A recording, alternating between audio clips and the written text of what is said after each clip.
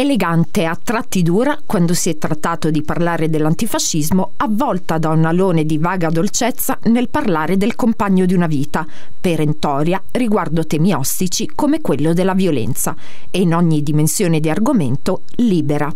È il ritratto di Margherita Hack, magistralmente portata in scena da Laura Curino, diretta da Ivana Ferri. È andato in scena ieri Margherita Hack, una stella infinita, il secondo appuntamento della stagione di teatro aperto concerti organizzata dall'Associazione Culturale Il Mosaico con il sostegno del comune di Corbetta. È stato molto difficile alla proposta di Ivana Ferri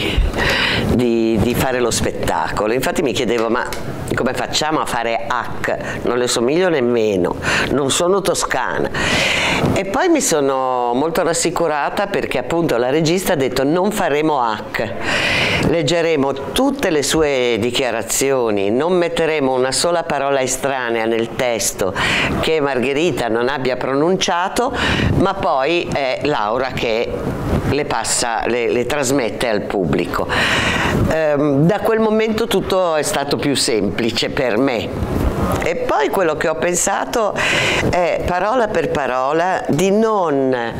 mm, come dire, infiorettare, di non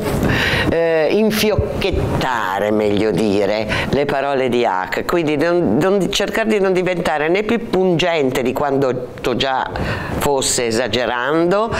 e né di mettere melassa e di ammorbidire quando le sue affermazioni erano polemiche o eh, tagliate con l'accetta, con, grosso, con grande coraggio da parte di questa donna. Aiuta moltissimo la musica,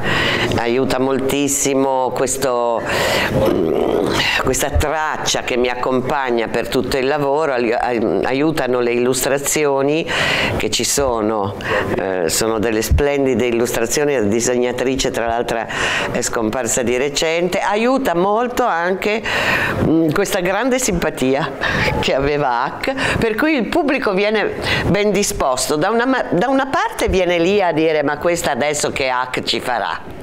quindi è un po' diffidente ma ben disposto verso H e quando scoprono che non aggiungo né tolgo allora li sento poi tutti con me. Credo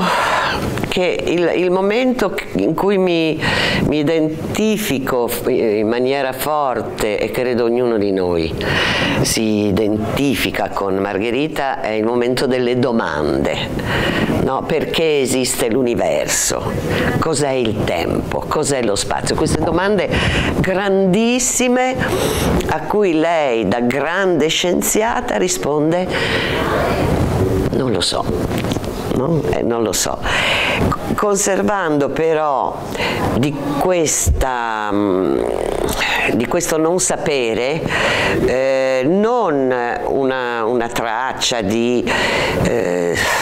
dire, di dispiacere, di incompletezza, di vuoto, ma una meravigliosa traccia di stupore,